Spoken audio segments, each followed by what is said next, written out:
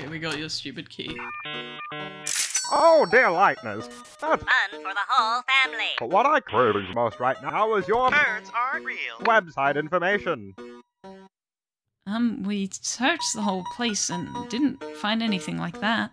Ah, no, you. Circus in town. I need your. I need your. I need your. Please enter address, name, and password.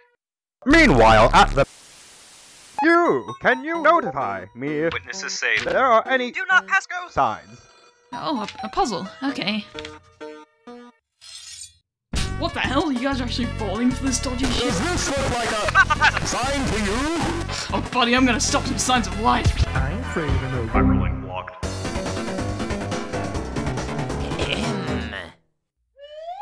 Did I detect somebody saying the words bird and stupendous a few seconds ago? Don't worry, that was a rhetorical question. My fantastic listening skills need not be doubted. Well, actually, uh, Berdly, hey, pal, would you be able to put your Twitter login info here for us? What? Of course not! Somebody with a level of media literacy as high as mine would not give out confidential information so easily. I mean, you're not even offering me anything in exchange. Sounds like someone just can't remember their login. Password manager using cock. Uh, No, I remember it. Got any proof of that?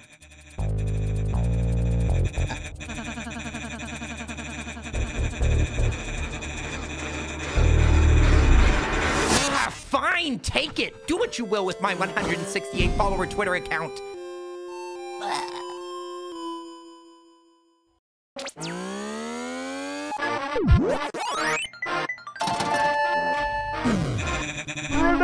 Finally! The number's going up!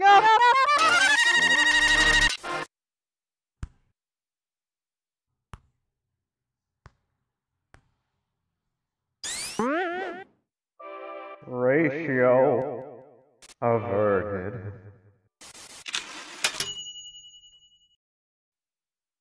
That's really all you wanted to do with my Twitter?